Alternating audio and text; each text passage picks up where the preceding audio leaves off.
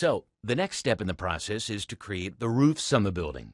We'll be creating two separate roofs to give our building a bit more of a unique look. I'll do this from the first floor plan. There are a few ways to create roofs in Revit. For this project, we'll look at creating a roof by footprint. Adding a roof to a building by footprint in Revit is almost exactly like creating floors. We'll begin by creating the lower roof. I'll click the Roof by Footprint icon on the Home tab of the ribbon. Now, like everything else in Revit, the properties are incredibly important. The most important property here is the level. Make sure this is set to lower roof. I'm in the first floor plan, and Revit might try by default to create the roof on the first floor level. Clearly not what we want. So I'll change the level to lower roof on the drop-down menu. Also, let's specify the roof type. I'll select Edit Type and make a selection from the Type Selection drop-down. Let's use a generic 12-inch for now, all right? And I'll leave the rest of the properties at the defaults. Next, I'm required to sketch the footprint of the roof. Since we have walls that we can pick, the best way to do this is by using pick walls. I want the roof boundary to run along the inside edge of the masonry wall. Now, I just need to close up the boundary. I use the Trim and Extend tools to do this.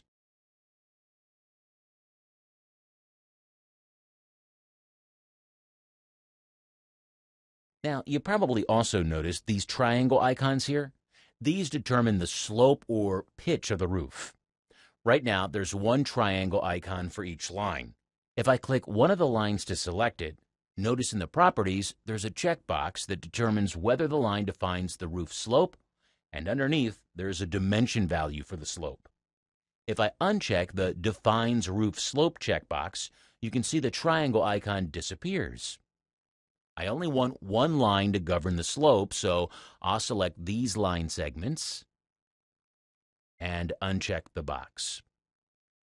Next, I'll adjust the slope of the line that still governs the pitch. I'll select the roof segment and make it 2 inches over 12 inches.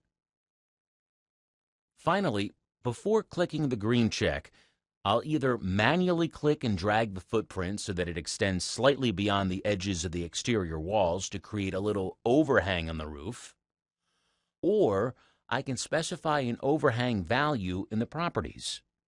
I'll add overhangs for these three edges here.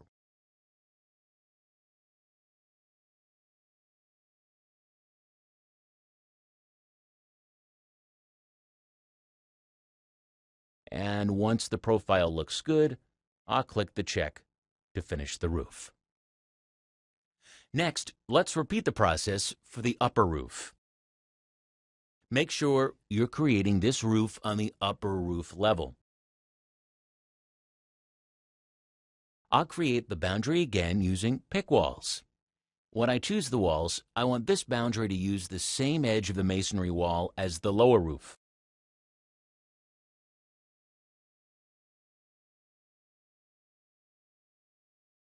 Trim and extend is the way to go to clean it up.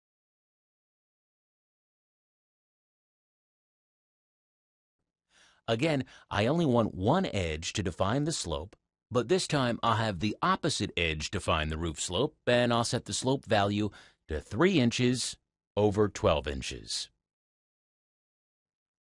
You can set the slope and overhangs from either the properties or directly in the workspace. Both will have the same effect. I'll again give the three edges not attached to the masonry wall a bit of an overhang.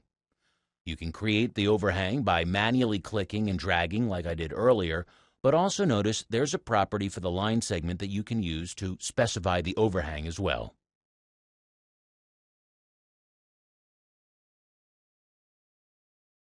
When I click the green check, the roof is added. But, as you can see, when I switch to 3D view, The walls don't extend all the way up to the roof. We'll have to attach them manually. This is really easy, no problem.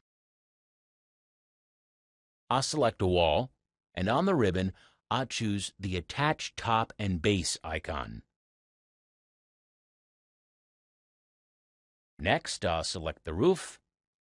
Right away, the wall adjusts and now extends flush with the roof. I'll repeat this process for the rest of the exterior walls, and the best way to do this is by using the Tab key to select the chain all at once.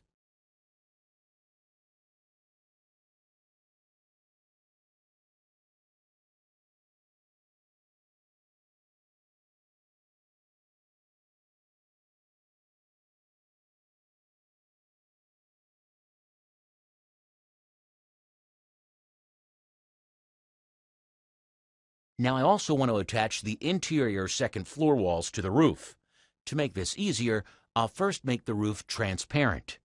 I'll right-click on the roof and select Override Graphics in View by Element. I'll enable the Transparent checkbox. With the roof now transparent, I can select all the interior walls and attach them in the same exact way.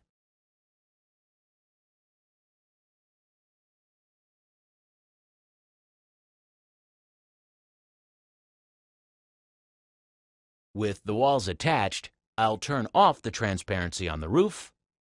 I'll right-click it and select Override in View by Element, uncheck the transparent box, and click OK.